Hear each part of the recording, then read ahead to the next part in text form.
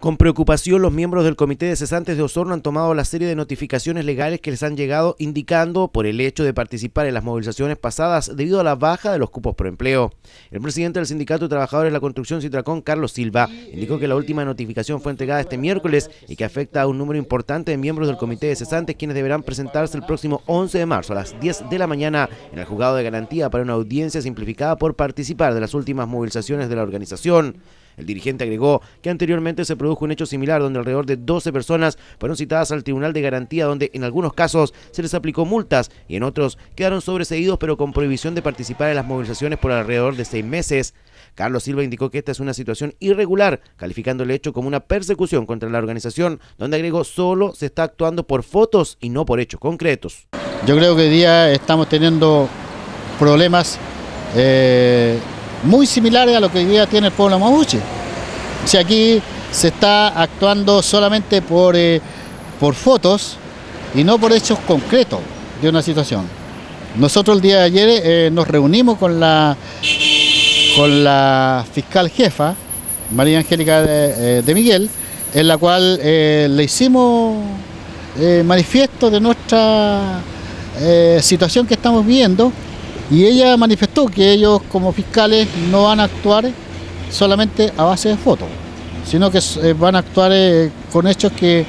efectivamente tengan fundamento. El presidente del Sindicato de Trabajadores de la Construcción en Osorno indicó que se está trabajando en base a fotos, pero además de ello se cuentan con los antecedentes de quienes son fotografiados, tanto así que algunas citaciones llegan directamente a sus domicilios. Aquí hay una persecución abierta, aquí hay, aquí hay una actitud ya que se está actuando prácticamente por, eh, por eh, foto en la cual eh, se tiene muy claro que el equipo de inteligencia que hoy día tiene el gobierno es un equipo especializado o son idóneos o ideólogos de, de, los, de lo sucedido dentro de la dictadura militar. O sea, hoy día te sacan una foto y sabes dónde vive, lo que come, lo que hace, dónde anda entonces aquí ya el tema del sentido de la, democracia, la libertad de opinión, la libertad de movilizarte, eh, eso ya no existe. Aquí sencillamente, si te quieren perseguir, te van a perseguirte todos los días y es una situación gravísima. Estas situaciones se generaron, indicó el dirigente, por el solo hecho de participar en las movilizaciones, pero agregó, confían en el accionar de la justicia y que esta situación se resuelva de buena manera. Aquí hay una, una mano del gobierno detrás de esto. O sea, aquí el propio gobernador lo dijo, más allá que la última reunión se amurró y no quiso hablar, eh, dijo que nosotros, que él eh, que la justicia iba a caer sobre nosotros. Pero ojalá sea justicia, nosotros todavía creemos en la justicia de nuestro país, por lo tanto esperamos que el juzgado garantía eh, va a aplicar la justicia que corresponde y nosotros lo que pedimos hoy día es que se aplique